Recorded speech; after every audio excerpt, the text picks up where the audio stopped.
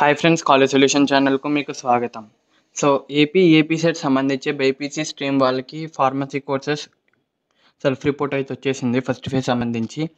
So మనకి second phase సంబంధించి ఎప్పుడు డేట్స్ అనేవి రిలీజ్ చేస్తారు అని చెప్పి చాలామంది అడుగుతున్నారు. సో మనకి self reporting and reporting at the colleges వచ్చి లాస్ట్ డేట్ ఎప్పుడు చూసుకోవచ్చు మనం? సిక్స్త్ జనవరి అంటే రేపు.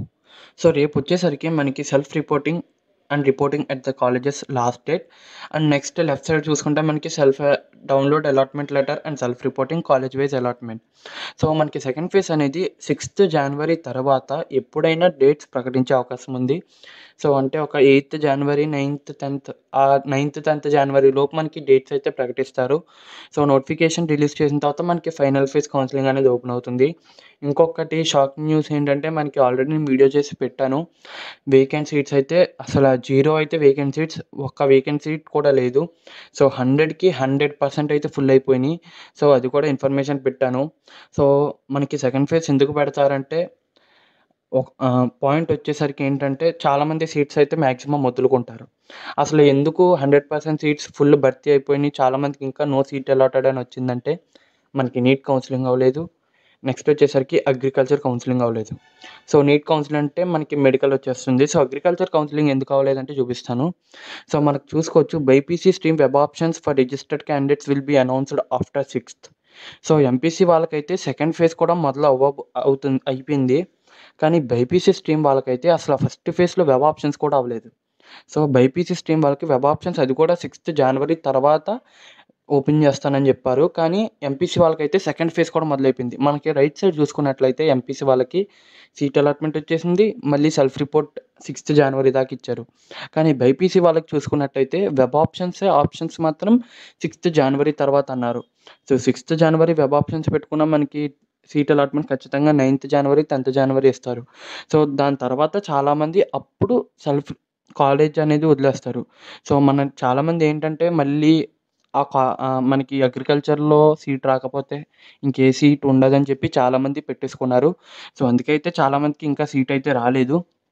సో ఇంకొక పాయింట్ ఏంటంటే మనకి ఆల్రెడీ చెప్పాను కదా నీట్ కౌన్సిలింగ్ అయితే ఇంకా అవ్వలేదు. సో ఆ నీట్ కౌన్సిలింగ్ అవ్వలేదు కాబట్టి వాళ్ళు కూడా ప్రస్తుతానికైతే ఫార్మసీ కాలేజ్లో ఒక సీట్ అనేది పెట్టుకున్నారు.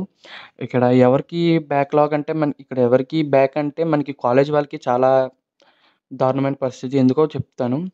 సో ఇప్పుడు ఫార్మసీ సీట్స్ అనేవి ఫిల్ చేశారు కదా. సో సపోజ్ ఒక నీట్లో జాయిన్ అయిన వాళ్ళు సపోజ్ ఆ కాలేజ్లో తీసుకున్నారు. నీట్ కౌన్సిలింగ్ సపోజ్ ఒక నెల తర్వాత పెడితే వీళ్ళ సీట్స్ అన్నీ క్యాన్సిల్ అయిపోతాయి కదా. సో వీళ్ళందరూ వెళ్ళిపోతారు. సో వీళ్ళందరూ వెళ్ళిపోయిన తర్వాత వీళ్ళ సీట్స్ వేకెంట్ అవుతాయి కదా. అవి ఎటు పరిస్థితుల్లో ఎలాగో ఫిల్ చేయలేరు. ఎందుకంటే మనకి కౌన్సిలింగ్ అయిపోయిన తర్వాత ఆ వీకెంట్ సీట్స్ ఫిల్ చేయడానికి ఉండదు. సో అలాగా చాలా సీట్స్ అనేవి వేకెంట్ అవుతాయి. సో ఆ విధంగా జరగకపోవడానికి ఆ విధంగా జరగకుండా ఉండాలంటే మనకి నీట్ అయితే పెట్టాలి. కానీ నీట్ కౌన్సిలింగ్ అయితే తెలంగాణలో స్టార్ట్ అయింది.